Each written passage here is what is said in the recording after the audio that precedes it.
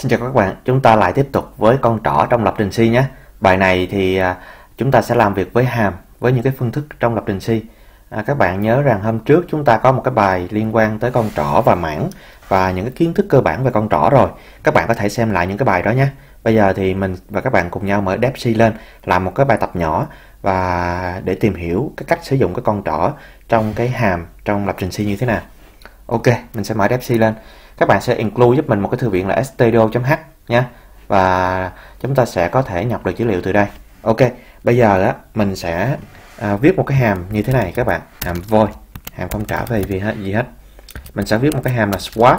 Swap là quán đổi đó các bạn. Quán đổi. Sau đó mình có hai cái biến là a và biến b ở đây. Ok các bạn sẽ nhìn thấy nha. Nhìn thấy nha các bạn nha. Mình cố tình nha để swap một nè. Đó, hàm swap một rồi, mình sẽ có một cái biến là thêm bằng A.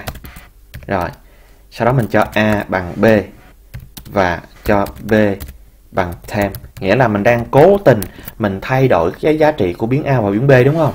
Rồi, bây giờ ở ngoài hàm main đó các bạn, mình sẽ có hai cái biến A, mình cho A bằng 5 đi. Và một cái biến là B bằng 10.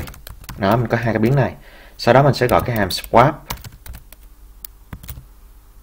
à, mình sẽ gọi in ra trước ring. Ha. Trước khi swap 1 nó trước khi swap 1 nhé thì mình cho a bằng phần trăm d và b bằng phần trăm d. Sau đó mình sẽ truyền vào đây biến a và biến b. Mình vừa khai báo ở cái dòng bên trên đó rồi sau sau khi sau đó mình sẽ gọi swap 1 mình truyền vô đây hai biến a và biến b. Các bạn thấy không ạ? Các bạn thấy không? Rồi sau đó mình lại gọi một cái hàm là hàm bring cái này chúng ta đã ôn tập về kiến thức cũ một chút rồi sau đó chúng ta sẽ tiếp tục sử dụng con trỏ. Nhưng mình muốn các bạn hiểu thật sâu hiểu thật rõ đấy. Rồi là sau khi sau khi swap một thì các bạn thấy à, chúng ta cũng in ra giá trị ab đúng không? Bây giờ mình sẽ chạy thử các bạn xem nhé. SQ combine and run. Các bạn xin lỗi các bạn chúng ta sẽ xuống dòng. Signal rồi sạc nó à, ở đây. Rồi. ở đây. Đây, trước khi swap 1 a bằng 5 b bằng 10 sau khi swap 1 a bằng 5 b bằng 10 ủa, tại sao giá trị nó không bị thay đổi các bạn? Chúng ta phải xem lại. Đây, các bạn nhìn đây. Trong cái hàm swap 1 các bạn thấy rằng chúng ta truyền vô ra hai biến AB nhưng bản chất là chúng ta đang truyền cái giá trị. Các bạn xem lại giúp mình cái bài truyền tham trị và truyền tham chiếu thì rõ ràng cái bài này là mình truyền giá trị. Do đó vào trong cái hàm này có làm gì đi nữa thì khi thoát ra khỏi cái hàm này thì A và B bên ngoài nó không có bị thay đổi. Đây là cái đây là cái truyền tham trị nhé. Bây giờ mình tương tự mình copy cái hàm này xuống đây, Ctrl C xuống đây. Mình sửa lại thằng này hàng swap 2. đây mình sẽ ghi chú luôn cho các bạn để các bạn nhớ truyền tham trị nè. Đó. Còn ở đây chúng ta sẽ là truyền tham chiếu truyền tham chiếu thì các bạn có nhiều cách viết. Một là các bạn à, truyền tham chiếu theo địa chỉ biến đó các bạn theo địa chỉ biến ha. Đó, ok. Thì bây giờ các bạn muốn truyền tham chiếu theo địa chỉ biến thì hôm trước mình có hướng dẫn các bạn là thêm dấu và đây thêm dấu và đây. Đó chỉ cần thêm dấu và vậy là xong rồi đó. Thêm dấu và là xong. Bây giờ mình cũng mình mình và các bạn nhé copy nguyên cái đoạn code này lại. Sau đó chúng ta đi ra đây chúng ta à, copy lại chúng ta sửa lại một tí thôi đây, trước khi swap 2 đó, sau đó mình sẽ gọi hàm swap 2 và mình in ra cái giá trị sau khi swap 2 đây, mình xem cái giá trị nó có thay đổi hay không, cái giá trị nó có thay đổi hay không. SQ combine and run. Đây, các bạn nhìn nè. Cái hàm swap 1 hồi nãy mình bỏ qua rồi, ok nhé vì nó là truyền tham trị nên nó không thay đổi cái cái giá trị. Nhưng các bạn nhìn thấy nè, trước khi swap 2 a bằng 5 và b bằng 10 nhưng sau khi swap 2 thì A bằng 10, B bằng 5. Thì đây là cái kiến thức về truyền tham truyền tham chiếu theo địa chỉ biến mà chúng ta đã từng học. Bây giờ mình và các bạn thử làm một cái hàm nữa. Nhưng cái hàm này chúng ta cố tình chúng ta sử dụng cái con trỏ. Chúng ta cố tình chúng ta sử dụng con trỏ nha các bạn. À, sử dụng con trỏ. Các bạn sẽ xem nhé. Đây, mình sẽ copy copy ở đây. Copy ở đây? Rồi con trỏ thì các bạn có nhớ cái cách để chúng ta khai báo con trỏ không? Đó là dấu sao chứ không phải là dấu và dấu sao. Vậy thì các bạn để ý giúp mình này bây giờ á nếu mà dấu sao ở đây nhé thì à, các bạn phải làm việc với dấu sao hết. Đây mình cho một cái biến thêm bằng sao a.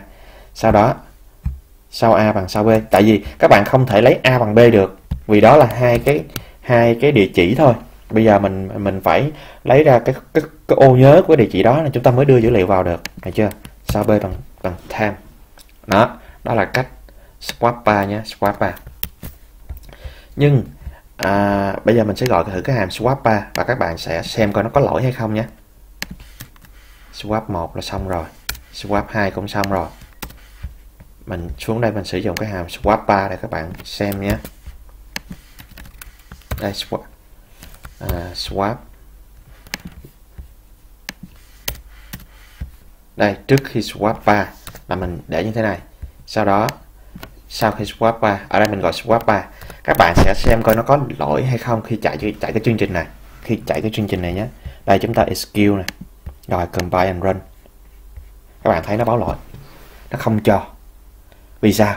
Vì ở trên chúng ta khai báo cái tham số cái cái cái tham số trong đây nó là hai cái con trỏ.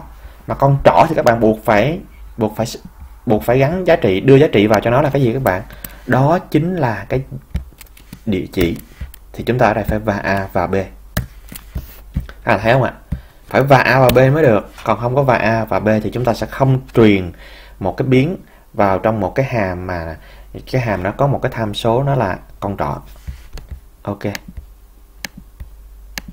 Đây, mình chạy lại nè. Các bạn nè swap 2 là làm xong rồi nha sau trước khi swap 3 là a bằng 10 b bằng 5 sau khi swap 3 là a bằng 5 b bằng 10 nghĩa là, ở đây các bạn thấy, chúng ta hoàn toàn có thể làm việc được với các hàm và chúng ta có thể truyền cái truyền cái con trỏ vào trong một cái hàm.